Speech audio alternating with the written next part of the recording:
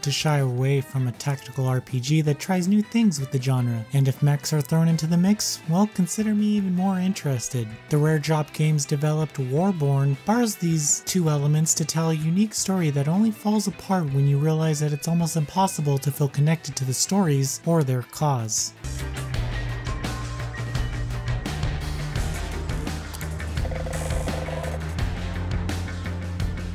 Warborn's campaign is actually told over four commanders, each fighting on different sides of a war. However, aside from the commanders playing differently, missions will play out more or less the same. You see, the game has a strong opening with a lot of potential as you get the hang of positioning your fighters, increasing your units, and navigating the environments. However, you'll quickly discover that you can use a similar tactic for each mission and get through the entire game without a problem. The story is told before and after missions, but I believe it is the weakest part of the game, which also ties into its mechanics. In a mission, players can take over resource towers that allow them to summon new units to fight at will. While enemies can also do this, the only challenge of any stage is found in the first 15 minutes, because after that you'll have an arsenal of units and a wealth of points to use to summon new ones, at which you'll inch closer to your objective. Given that this is a tactical RPG, I would have enjoyed creating a party of mech warriors that I actually grew attached to, so that I think twice about how I use them in combat. With the game's current flow and mechanics, it's easy to just rack up points and summon strong units that wipe out everything in sight, even if it puts them at risk. Sure, some missions don't allow you to summon new units, but these are far and few between.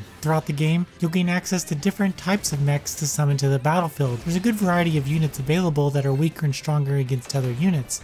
Understanding how to take advantage of this is crucial during some matches, but again, it's possible to just summon 6 grunt soldiers and chip away at an enemy's unit until victory. The environments offer a chance to earn defenses against enemy attacks, but the game sadly doesn't feature a miss system. This means that each attack from the player or enemy will cause the exact amount of damage as seen in the attack preview unless you get a critical hit. It just makes the whole experience feel so average. Still, the developers do try to mix things up with units who can uncover mines or cause status damage, but all that is negated by a healer unit who is so overpowered with a move that heals and removes all status effects at the same time. There's a real lack of balance across each mission that stems from the game's core mechanics of summoning as many units as you want. I never felt like I was at risk during any mission, and the only time I ever restarted was when I didn't understand the objective. Regardless, the soundtrack is full of incredible music that makes the drawn out missions somewhat worth it. That said, you are able to speed up actions with the press of a button, but I felt like it could have been sped up a little more. One of the best parts about Warborn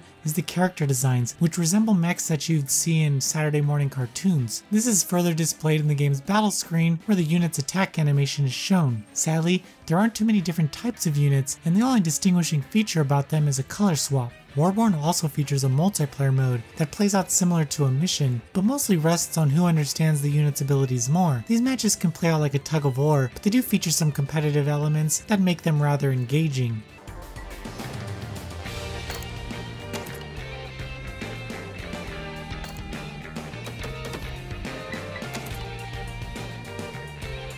Warborn has a great foundation of SRPG mechanics and beautiful animations. However, I never once felt connected or concerned about my enemies or challenged after the first few minutes of a match. Each campaign plays out relatively the same, and after hours of gameplay, you'll feel like you're merely playing the same mission over and over. I enjoyed the overall aesthetic, but nothing about this gameplay held my attention. Noisy Pixel is giving Warborn a 6 out of 10. Thank you for watching. Noisy Pixel is run by a group of gamers who work hard to deliver news, reviews, previews, and more. Please subscribe to keep up with all our future content.